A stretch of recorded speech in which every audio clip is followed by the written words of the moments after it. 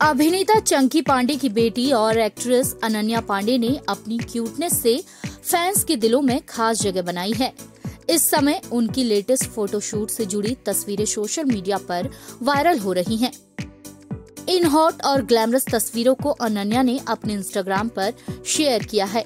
Caption में लिखा, मैं इस बात से पूरी तरह से वाकिफ हूँ कि मैं इस जाली में फल की तरह दिख रही हूँ। इसके साथ ही अनन्या ने हंसने वाली इमोजी भी शेयर की है।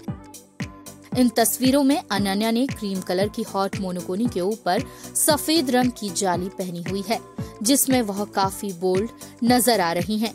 अनन्या ने अपने बालों को ओपन कर रखा है, साथ ही वह हर तस्वीर में अलग अलग पोज देती दिख रही हैं। वहीं उनकी कातिल अदाएँ फैंस को दीवाना बना रही हैं। लेकिन अनन्या ने अपने इस फोटोशूट में खुद को ही ट्रोल कर दिया दरअसल, अनन्या ने जो आउटफिट पहना है, वो सेब पर लपेटे जाने वाली जाली जैसा दिख रहा है वहीं उन्होंने खुद ही अपनी तस्वीरों में, आखिर में, जाली से कवर किए हुए सेब की तस्वीर पोस्ट की है। अनन्या की इन तस्वीरों पर फैंस के साथ साथ सेलेब्स भी कमेंट कर रहे हैं।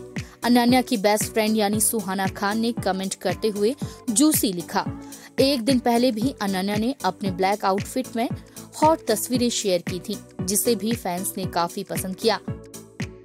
अनन्या की अपकमिंग फ़िल्मों की बात करें तो वह दीपिका पादुकोण और सिद्धांत चतुर्वेदी के साथ भी नज़र आएँगी।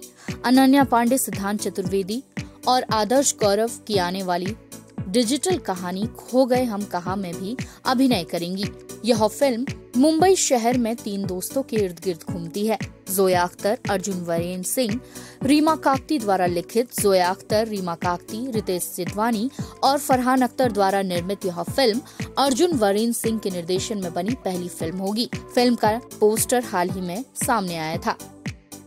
अनन्या विजय देवरकोंडा के साथ आगामी फ़िल्म लाइगर का भी हिस्सा है। इस फ़िल्म का निर्देशन पूरी जगन्नाथ द्वारा किया जा रहा है। अनन्या के फैंस भी उनकी अपकमिंग फ़िल्मों का बेसब्री से इंतज़ार कर रहे हैं। INS report.